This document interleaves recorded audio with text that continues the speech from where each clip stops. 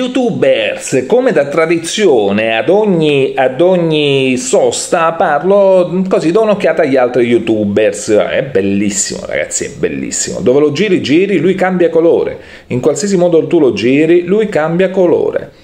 Questo è un cubo impressionante. Comunque non è questo l'argomento, diciamo. L'argomento sono gli youtuber. Stavo dando un'occhiata a chi è chi sta andando verso l'alto, chi sta andando verso il basso. Non voglio parlare di chi sta andando verso il basso, parliamo un attimo di questi youtubers che stanno un po' incominciando a montare, a montare, a montare. Alcuni oh, li conoscete tutti. Dovuto se siete qua è perché vi piace seguire gli youtuber che parlano di calcio, perché non è che seguite solo me, seguite ovviamente anche tutti gli altri, o quantomeno parte di tutti gli altri e mi sono fatto un'idea di quello che sta succedendo. Innanzitutto, fra le tante cose, ma quelli della Juventus, ma perché fanno sempre dissing? Perché litigano sempre? Ma ci avete fatto caso? Cioè, quelli della Juventus ogni volta la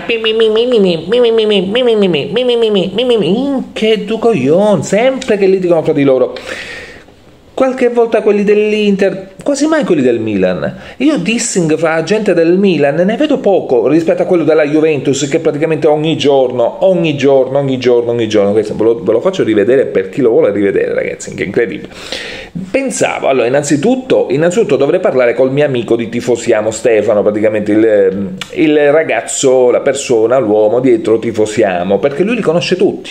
Una volta ho fatto una live con Tifosiamo e parlavamo appunto di tutti questi youtuber youtubers, perché davvero lui li conosce tutti, ci sono anche quelli che hanno solo 50 iscritti, 70 iscritti e lui li conosce, lui sa bene o male molto più di me, perché ovviamente non è che seguo, faccio il suo college, quindi Tifosiamo è quello che sicuramente andrà in orbita, eh, avrà sempre, sempre, sempre più iscritti, ormai ho un'abitudine, ogni volta che c'è un big match o un match importante che finisce uno si va a guardare questi college di, di quello che dicono gli altri, perché lui tira fuori il meglio, lui mi ha detto io non solo tiro fuori il meglio, ma il punto è dare punto di vista diversi tipi di tifosi, perché se io do il punto di vista solo ai tifosi come te o come quello, come quello, e sono tutti uguali, non ha senso, devono essere diversi e questo in effetti ha tutto, ha tutta un'idea, cioè devono essere proprio è come quando vai allo stadio, ci trovi l'avvocato famoso e ci trovi quello che, che ne so, che vende noccioline, cioè ci trovi tutti, tutti i tipi di persone e così è per, per, quanto riguarda i video.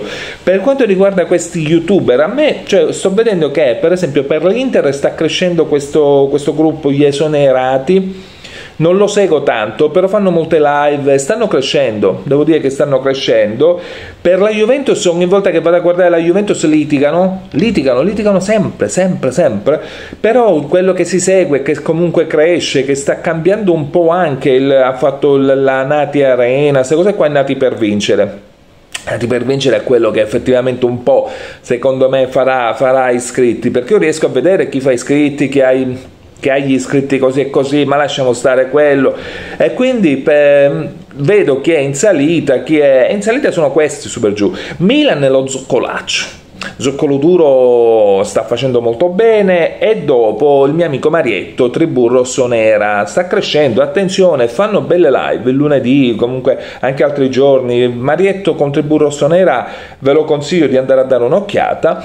Per quanto riguarda la Roma, che è un mondo che a me piace, quello degli youtubers della Roma, perché sono belli pugnaci, veraci. Allora abbiamo Simoncigno, che io mi sono stupito, Simoncigno lo vedete sempre su Tifosiamo quando si tratta della Roma. Io mi sembrava più piccolo, se ho capito bene, se ho letto bene la chat su Tifosiamo, sto ragazzo ha 17 anni e comunque sta crescendo, il canale sta crescendo, eccetera, eccetera. E dopo un malato del Napoli, ragazzi, allora sta succedendo una cosa.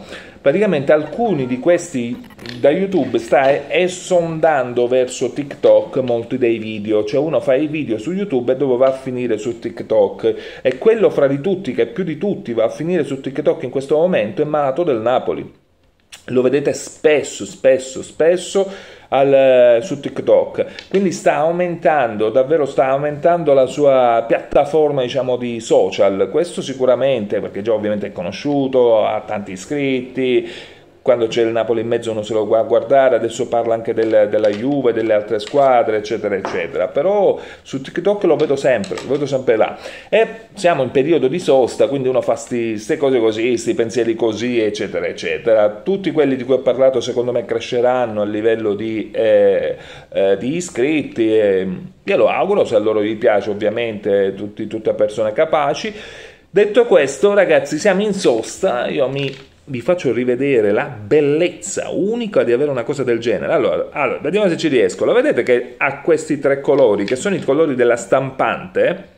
Sono i colori della stampante, giusto? Però cosa succede? Che quando io lo sposto così, lui cambia questi colori. Se io lo sposto così, diciamo lentamente, riuscire a vedere che i colori sono quelli. Però se io incomincio a fare così, lui ogni volta che sposta ti dà dei colori diversi. ciao, ciao, ciao ragazzi. Ah, a proposito, ditemi, ditemi quali sono i vostri youtuber, quelli che secondo voi cresceranno, tutte queste situazioni qua. Ciao ragazzi, ciao ciao.